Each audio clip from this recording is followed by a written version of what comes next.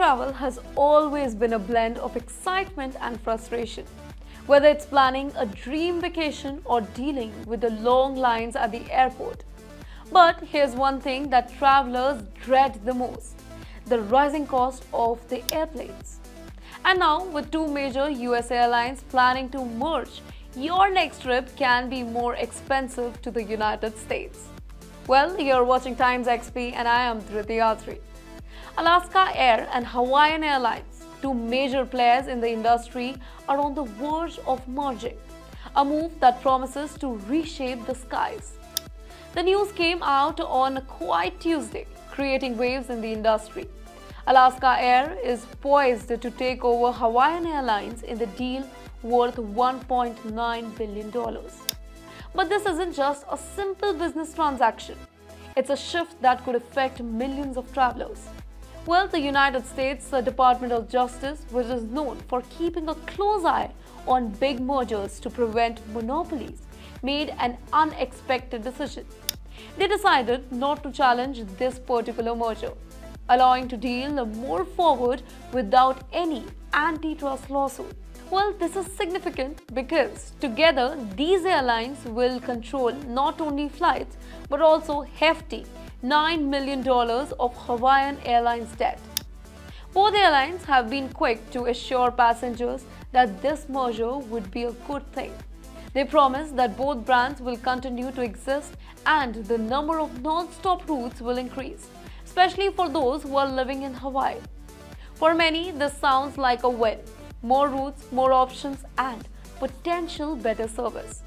However, not everyone is convinced with this particular merger that it will benefit the traveler. Katy Nastro, who speaks for the flight aggregator site uh, Going.com, has voiced the concern that echoes through the corridors of the travel industry.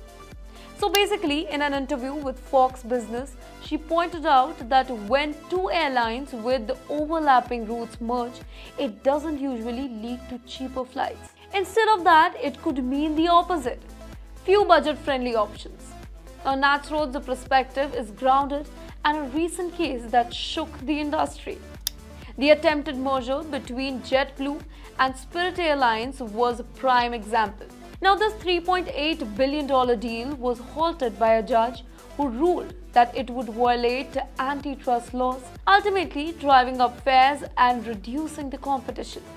Spirit Airlines, known for its ultra low cost flights, plays a crucial role in keeping the ticket price down. Losing it as a competitor would have likely led to higher costs of passengers across the board. Now here is the big question why did the Department of Justice decided not to block Alaska-Hawaiian merger? Well, that remains a mystery for sure. The DOJ has been an aggressive in challenging the potential monopolies, yet they chose not to interfere in this one. This decision was especially puzzling because if Alaska Airlines and Hawaiian Airlines merge, they would control 8.4% of the domestic market share and this is according to the latest data from the Bureau of Transportation Statistics. That's a substantial piece of a pie, one that could influence price and options for the travelers.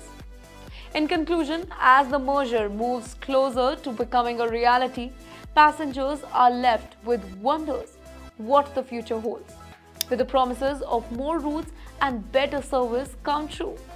Or will this concern about the higher price and few budget options that prove to be accurate? Well, the skies above most are clear, but the future of air travel remains uncertain as this story continues to unfold. For more such information, do follow Times XP.